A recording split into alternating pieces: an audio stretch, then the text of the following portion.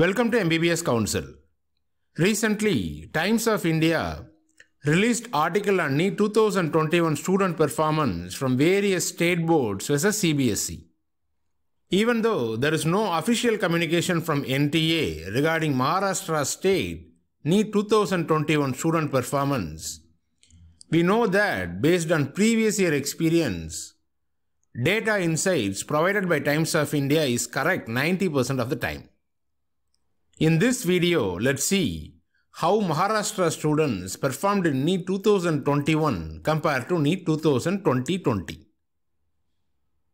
If you want to know last year quota for any medical college in India for All India quota or state quota, install MBBS Council Android app. Link to install the app is given in the description below.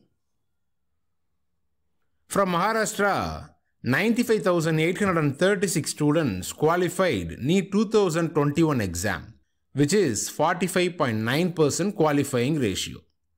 Last year, the qualifying ratio was just above 40%. Apart from this passing ratio, the article also talks about the number of Maharashtra state students who have ranked within first 10,000 ranks, 50,000 ranks, and 1 lakh All India rank. If you are interested to know the complete article released by Times of India, you can check out the link in the description below.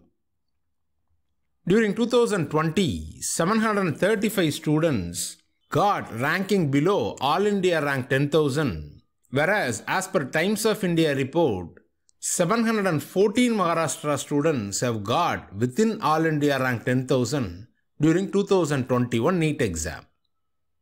Similarly, the number of Maharashtra students within 50,000 All India rank as well as 1 lakh All India rank also decreased slightly, which indicates that NEET 2021 appeared Maharashtra students have performed slightly poorer compared to NEET 2020 appeared Maharashtra students.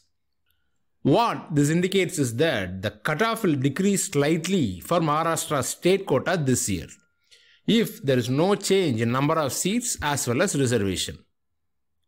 If you find this video helpful, cheer us by clicking the thumbs up button. If you have any doubts regarding MBBS admission counseling, comment below. See you in the next video.